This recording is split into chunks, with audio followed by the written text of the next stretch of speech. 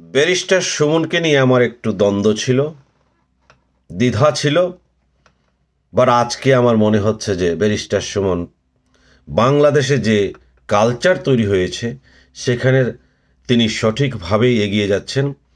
তার প্রতি আমার অভিযোগ ছিল যে তিনি ভাইরাল হওয়ার জন্য বিভিন্ন কথাবার্তা বলেন, মোটেও না।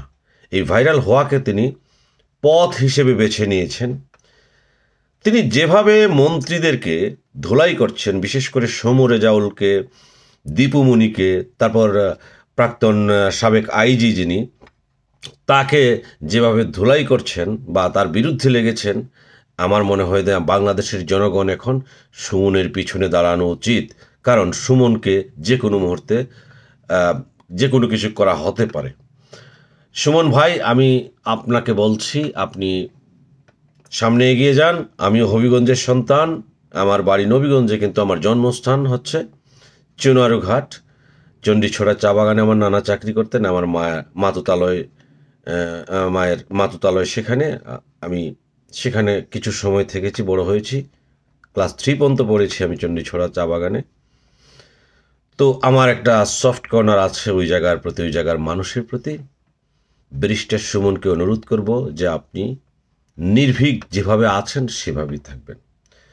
আওয়ামী লীগ হলেই যে দুর্নীতি করতে হবে, এই ধারণা মুছে দেওয়ার জন্য বা আওয়ামী লীগ যারা করে তারাই দুর্নীতিবাজ, এটা মুছে দেওয়ার জন্য আপনার মতো সুমন দরকার, সুন্দর মনের মানুষ দরকার।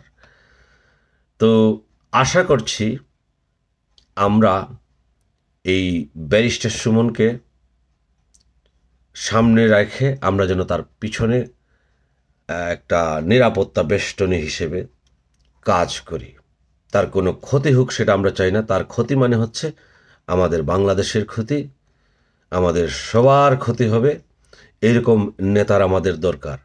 আমি বাদ দেন সব আওয়ামী লীগ, বিএনপি, জামাত, এটা, ওটা।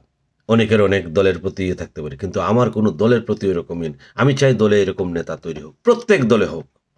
বিএনপিতে হোক, আওয়ামী লীগ হোক, আমাকে অনেকে বলেন আমি বিএনপি করি। হ্যাঁ আমি বিএনপি করতাম।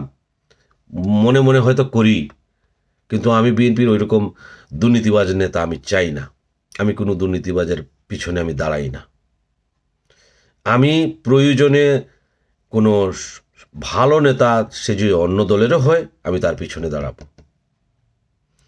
আমি তার পিছনে দাঁড়াবো এবং তার সাথে আমি, তার পিছনে আমি মিছিল করব। আল্লাহ ব্যারিস্টার সুমনকে নেক হায়াত দান করুন, এই মানুষের মনের ইচ্ছা আল্লাহ পূরণ করুন। আমি ব্যারিস্টার সুমনের দীর্ঘায়ু কামনা করছি।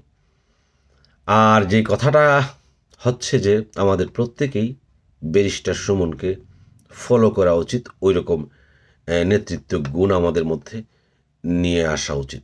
কাউকে ভয় পাওয়ার কিচ্ছু নেই।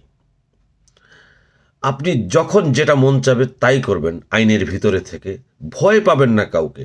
পাছে লোকে কিছু বলে, ওগুলা ফেড়ে দিন, এগুলাতে কোনো লাভ নেই। পাছের লোকে কিছু বলবে, ওগুলা ডিঙ্গিয়ে আপনাকে যেতে হবে, যেটা ব্যারিস্টার সুমন করতে পেরেছেন। অনেক কথা ব্যারিস্টার সুমনের পক্ষে বলা হলো, অনেকে হয়তো বিপক্ষেও বলবেন। বলুন, অসুবিধা নেই, সমালোচনা করার অধিকার আছে। সেই সমালোচনা সমালোচনা থেকে ব্যারিস্টার সুমন শিখবেন, আমরা শিখব। সুমন ভাই, তুমি এগিয়ে চলো।